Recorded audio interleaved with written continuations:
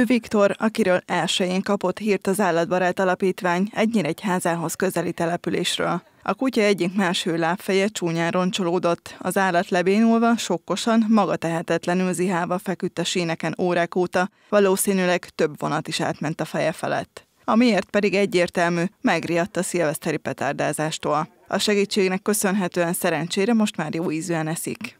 Kiderült, hogy a kutyus csippes, és meg is van a gazdája, akik egyébként várják haza, és mi vissza is fogjuk nekik adni, de jelen pillanatban itt lábadozik nálunk, mert elég súlyosak voltak a sérülései, tegnap átesett egy, egy ilyen korrekciós műtéten is.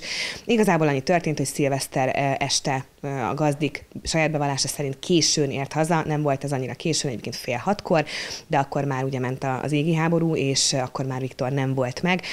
A riadalom miatt kiásta magát ugye a hátsó kerítés alatt, ami pedig ugye a sinekhez vezet, és sajnos nem volt szerencséje, tehát sokkos állapotban volt. Nem tudjuk, hogy mióta volt a sineken, de hál' Istennek jó vége lett a történetnek, a gazdik nagyon várják haza.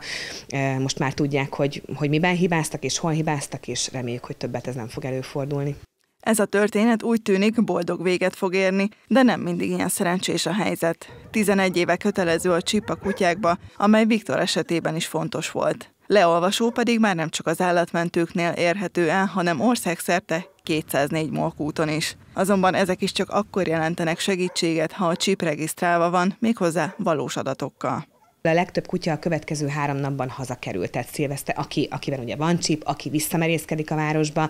Nagyon sokszor azt vesszük észre az a tapasztalat, hogy ilyenkor menekülnek kifelé, tehát ugye erdők, mezők, és ugye a városon kívül azért elég sok olyan hely van, ahol el tudnak rejtőzni és el tudnak bújni.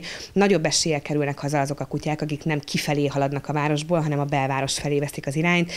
Több ilyen esetünk is volt egyébként. Ott azért esélyesebb, hogy egy állatszerető ember meglátja, felkapja, biztonságba helyezi Úgyhogy elég vegyesek a tapasztalatok, de, de mi azt mondjuk, hogy azért nem szabad feladni a keresést, mert most is volt olyan, illetve tavaly, tavaly előtt is volt olyan, hogy körülbelül egy ilyen 20-25-30 kilométeres távolságot futottak le a kutyák aznap éjszaka. Tehát nem feltétlenül csak a saját környezetünkben érdemes keresni, hanem a környező településeken is.